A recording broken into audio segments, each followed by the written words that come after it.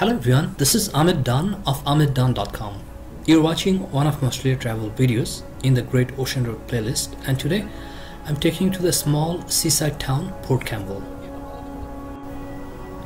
My first stop is going to be at a gas station and then uh, we'll pass by Port, Port Campbell foreshore which is a small beach and park. It's very safe for children and it's a very nice view and from there I'll take you to uh, a hidden uh, ocean creek. Uh, from where you will have a very good view of the ocean and the town.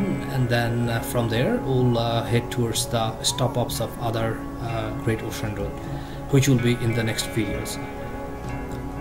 Thank you for watching. Forget about subscribing this channel. Forget about liking this video. I'll see you shortly